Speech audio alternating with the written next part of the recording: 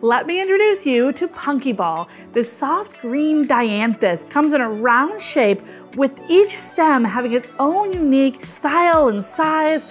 I love working with these because it makes for more texture and life in my designs. Punky Ball is definitely my go-to for green dianthus. Now today, we are gonna design this fun phone booth all with these big, beautiful punky balls. So come with me as we have some fun, do a little design, and get punky funky.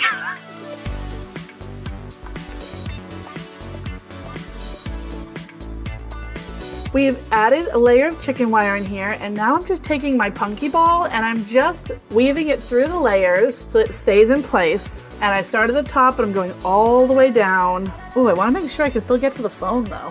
Who knows, might have to call somebody. Who are you gonna call? Punky ball.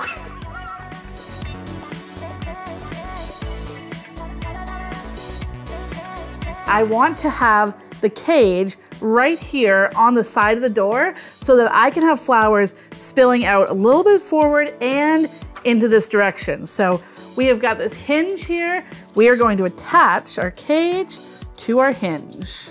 Anna is gonna tighten them on her side. Teamwork.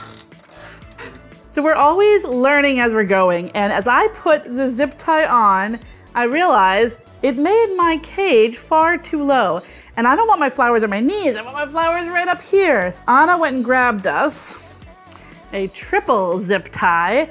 We've taken three zip ties, put them together so we'll have some height. Now this is gonna go over the top. Anna will grab it in the back. It's gonna go through the holder on the cage, through the door, and there we go. All right, now, now we're in good shape. Let's add some flowers. I'm going to go short with my first layer. I want to give a nice mossy green aesthetic.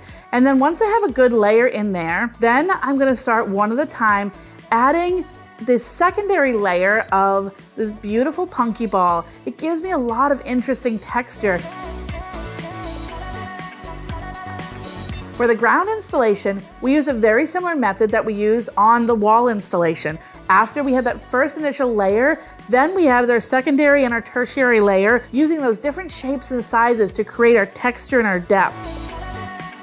And here we have our Punky Ball phone booth. We had a lot of fun with these squishy, fun funky Balls. If you're looking to do something creative and fun, look for those creative and fun flowers. Punky Ball is definitely outside the ordinary and gives you extraordinary aesthetics.